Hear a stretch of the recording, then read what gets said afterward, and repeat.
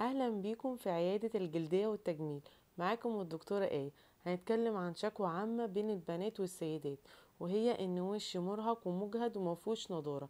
هنعرف إيه هي الأسباب وإيه هو العلاج. أول حاجة في الأسباب هو الإجهاد. طبعا لو سيدة وعندها مطالب كتير وشغل في البيت وشغل برا البيت فيبقى الإجهاد دوت عامل أساسي في حكاية إن الوشها يبان دايما إن هو مرهق ومجهد ومفهوش نضارة. تاني حاجة قلة النوم أو كتر النوم في مواعيد ملخبطة. يعني هي لو مش مظبطة نومها ده برضه هيبين إن وشها مجهد. تالت حاجة شرب المية بكمية كافية.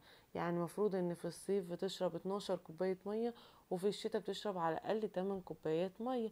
إنما في ناس ما بتشربش غير لما تعطش وفي ناس رابع حاجة الناس اللي ما بتهتمش بأكل الخضار ولا الفاكهة. يعني مفروض إن طبق السلطة ده حاجة أساسية على السفرة. خامس حاجة زي التوتر والقلق سادس حاجة مثلا في أمراض عضوية في الجسم أو بعض الأدوية اللي بتاخدها برضو بتسبب لها إجهاد سابع حاجة الأنيميا ونقص الفيتامينات خصوصا بعد الحمل والولادة ده طبعا بيسبب أنيميا وبيسبب نقص في الفيتامينات طب هنعالج إرهاق البشرة ده إزاي؟ أول حاجة هنتجنب الأسباب السابقة وعلى فكرة تجنب الأسباب ديت من أهم الحاجات الأساسية في العلاج. لأن دايما الجلد هو يعتبر مراية الجسم من جوه.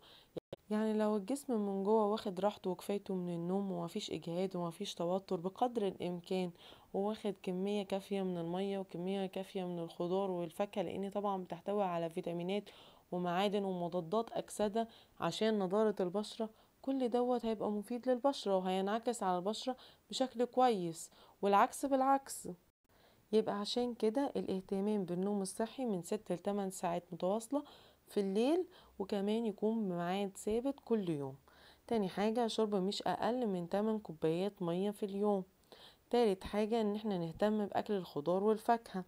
رابع حاجة لو في أي مشكلة أو نقص في الفيتامينات تحاولي إن انت تعالجيها. يعني لو في أنيميا تعالجيها. لو في نقص في فيتامين د في نقص في فيتامين سي في نقص أي في نقص في الفيتامينات لازم إن انت تعالجيها. طب هل في حاجة تانية ممكن تساعد؟ آه هي جلسات النضارة.